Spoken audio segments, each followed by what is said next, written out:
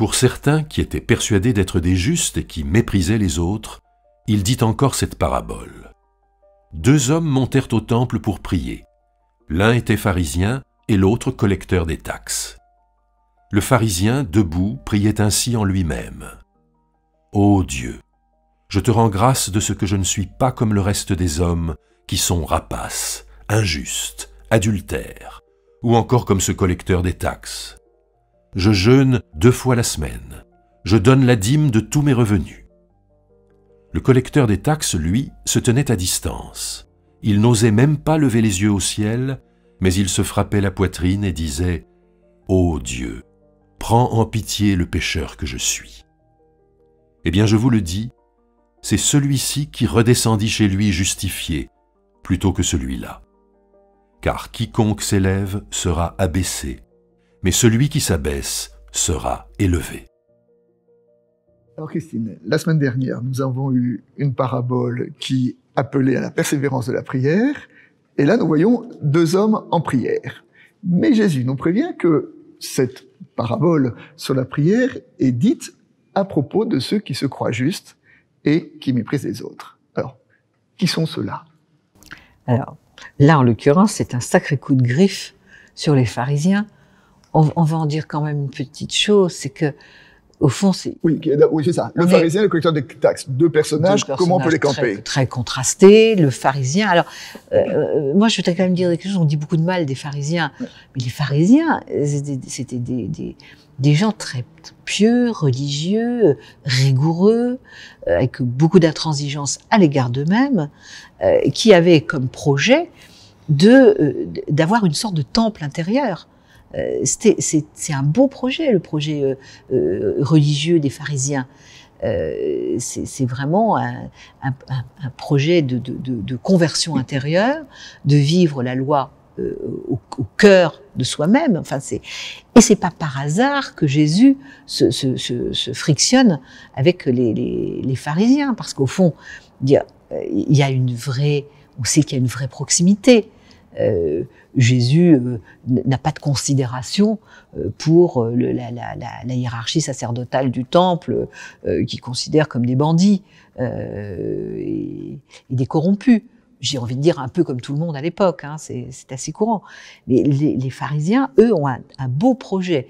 Donc, c'est ce dont ils sont le plus proches. Ils sont le plus proches. Oui, on a un petit côté qui aime bien, châtie bien. Quoi, c'est avec eux que ça que ça discute et que ça dispute. Oui, et, d'ailleurs, on trouve dans l'Évangile des pharisiens qui sont valorisés. Tout hein, à fait, absolument. Donc, donc, l'idée que le pharisien soit toujours un hypocrite, euh, c'est quelque chose qu'il faudrait qu'on essaie de bannir de notre pensée. Ce qui est intéressant, c'est de regarder comment, en fait, euh, au fond, la, la, volonté intérieure, je dis que c'était un beau projet d'être pharisien, euh, comment la volonté intérieure d'être un homme euh, probe, euh, saint euh, et religieux, finalement, obscurcit le cœur au point qu'on ne voit plus le Seigneur parce que c'est de ça dont il est question.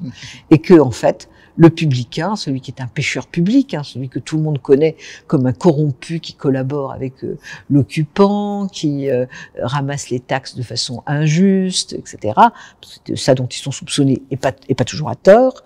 Euh, finalement, celui-là qui se sent pas digne, hein, qui se sent honteux, qui se sent pas digne, qui au fond est, est ouvert parce qu'en fait, il appelle la miséricorde, et c'est celui-là qui est comblé.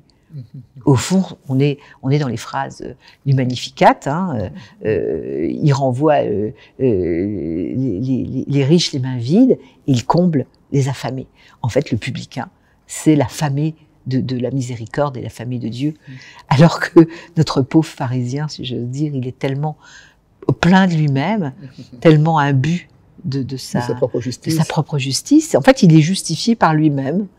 Euh, donc, euh, bah, il laisse pas d'espace. Oui, parce que il dit quand même, euh, je jeûne deux fois par semaine, je donne la dîme de tous mes biens. Je, ça, c'est un bon paroissien. On, on, on, on, des caisses, des pharisiens comme ça dans, dans, dans, dans, nos églises. bien sûr, bien sûr. C'est ça qui est d'ailleurs très terrible. C'est que, au fond, il fait tout bien.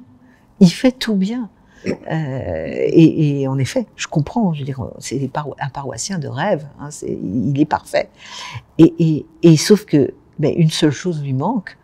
Euh, et, moi j'aime bien cette, toujours dans la parabole justement de, l'homme riche qui lui aussi hein, est comme le pharisien qui dit à, Jésus je fais tout bien. Euh, et Jésus dit une seule chose te manque. Et en fait, pour moi, c'est une chose très importante, c'est que en fait, le manque, c'est par le manque, c'est par le creux, c'est par le désir euh, que, que, que, Dieu nous, nous, trouve. Euh, c'est pas quand on est plein de nous-mêmes, c'est pas quand on est plein de certitudes. Euh, et le problème de ce pharisien aussi, c'est que euh, sa trop grande perfection le conduit aussi à juger les autres. Il dit je, je ne suis pas comme les autres qui sont adultères, avares, cupides, etc. Et, et en désignant même le, le de taxe, c'est-à-dire que, que sa propre justice le, le, conduit aussi à être un peu euh, à juger, bah oui, oui, oui, oui, bah oui, c'est ça. C'est-à-dire qu'il pense qu'il a toutes les raisons d'être au premier rang du banc d'église. euh, voilà, c'est. D'un autre côté, moi, je le comprends. Enfin, euh, ce que je comprends, c'est que c'est vrai que, comment dire, euh, je crois qu'il est très difficile de bien se comporter sans penser par devers nous que si tout le monde se comportait comme nous, le monde irait mieux quand même. Hein. Bien sûr, hein évidemment. Et puis en même temps, euh, euh, moi j'ai une forme de, de, de, sympathie pour le, le pharisien. Alors peut-être que parce que euh, j'ai plutôt été une bonne paroissienne dans ma vie, mais je veux dire, au fond, euh, prier en remerciant le Seigneur, parce qu'il remercie, mm. c'est une action de grâce mm. qu'il fait. Mm. Je te remercie parce que je suis ce que je suis. Et que au fond, euh, Antoine, ni, vous ni moi, on est des pauvres euh, euh, spirituellement. Je veux dire, nous avons été comblés. Déjà, euh, sans doute d'une certaine façon, comblés de la foi. quelle chance nous avons d'être là, ici, aujourd'hui, à pouvoir nous, nourrir de ces textes, à pouvoir échanger. C'est un immense privilège. Et, et, on peut rendre grâce pour ce privilège. Donc là, on est un peu comme le pharisien. Et, et c'est pas interdit de, de, de, rendre grâce pour les, les, les richesses qui, que, que, que, nous, que nous sommes en train de partager en ce moment. La seule, la seule chose, c'est qu'en effet, si ça nous conduit à juger euh, ceux qui vivent, euh, ceux qui vivent plus mal, euh, hein, c'est mon pape qui dit qui suis-je pour juger euh, ça s'adapte bien euh, à, à, à, cette affaire de, de, de, de, pharisiens et de publicains. Mhm. Qu'est-ce qu'on sait de la vie de l'autre mhm. euh, Et je peux encore il y a, une, il y a un, un mythe dans la dans la dans l'Athènes antique qui s'appelle l'échange des fortunes.